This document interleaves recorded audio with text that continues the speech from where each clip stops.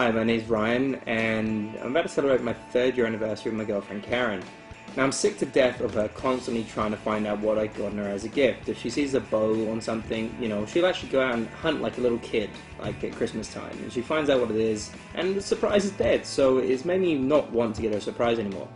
So, this anniversary, I've gotten her a bouquet of flowers, and I've got her in a box well, what looks like chocolates, but it's actually a box of hissing cockroaches. And these little buggers are freaking me out, so hopefully they're gonna freak her out too. Hang on. Oh, You, you, happy anniversary. happy anniversary. This is for you. Thank you. Don't open this yet. I've got to get your main present from the trunk, okay? Don't open it. Don't open it yet. Just let me get the other main present first, okay? You have to wait until I get the other present.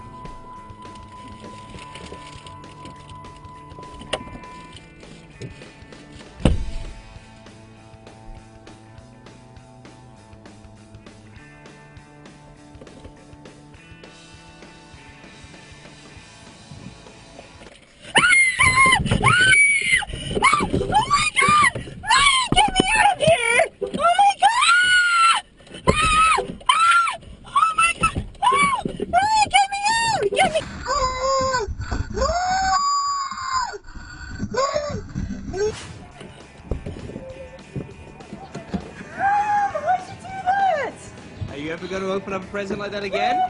Are you ever going to do that again? It's our three-year anniversary. Why did you get me that? Because you keep trying to find presents and opening them. I said don't open it. I can't you did that. Why did you open it? There really is one on your back. Get it off. Get it off. Get it off. Please get it off. Get it off. Oh my god. It's off. Oh my god, Ryan. That was way out of It's actually still on your back. Oh Can you feel it? no, just get it off. You can't feel it like cooling around? Get it off. Okay. Please, get it off. I want to, but can you feel it? No, just get it off. You can't feel it like cooling around? Get it off. Okay. Please, get it off. I want to, but